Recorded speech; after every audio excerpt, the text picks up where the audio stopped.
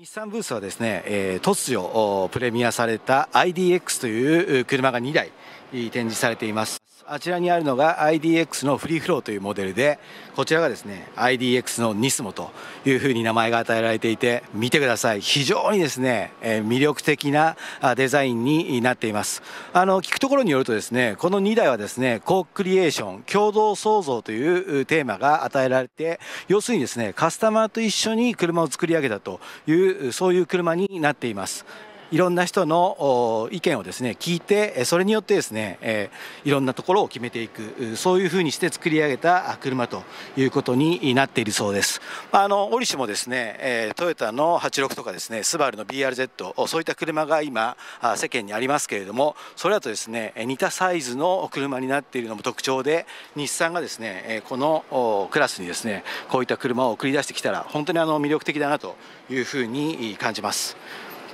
まあ、あのこちらのですねニスモの場合はレーシング系のですねデザインが施されているんですけれども反対側のですねフリーフローですねこちらはデニムのシートを使用するなどといったですね非常にですね斬新なこれまでにない価値観が想像されているというそういった荷台になっています。はい、インテリアなんですけれどもインテリアですねこのようにデニムが